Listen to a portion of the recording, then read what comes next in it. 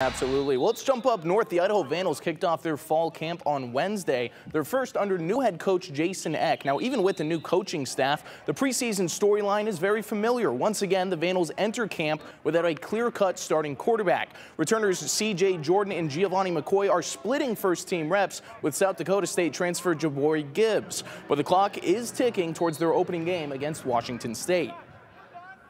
It's still up in the air, man. We got probably three main candidates. Uh, Gevani had a good spring, and then Caleb Jordan, uh, who was our opening game starter last year and is a really good athlete. Jordan's pass is complete, caught by 84, Alex Moore. And then J'Bore Gibbs transferred in from South Dakota State.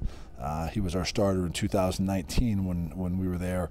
Uh, he's a good player too. So I think those three guys uh, are all working hard. Going to be a heck of a competition. Probably the first you know week, 10 days of camp, and then I think we need to do a good job of sorting through that quickly because you want to make sure you're getting enough reps to your starter.